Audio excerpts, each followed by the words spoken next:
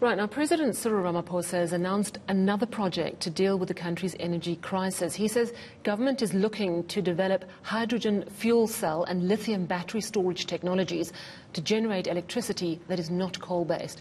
At the same time, government is still busy with processes that will allow municipalities to buy power from independent producers.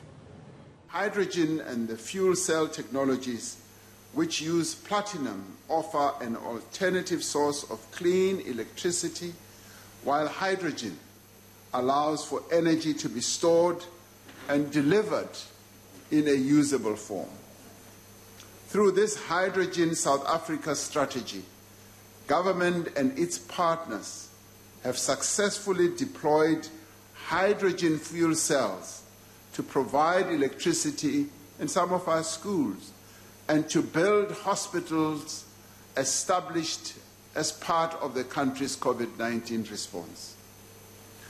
Now, after a decade of investment, we are now ready to move from research and development to manufacturing and commercialization.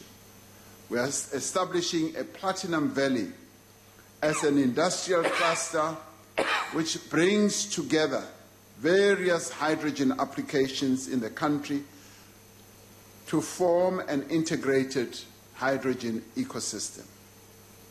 This initiative will identify concrete project opportunities to kickstart hydrogen cell manufacturing in promising hubs.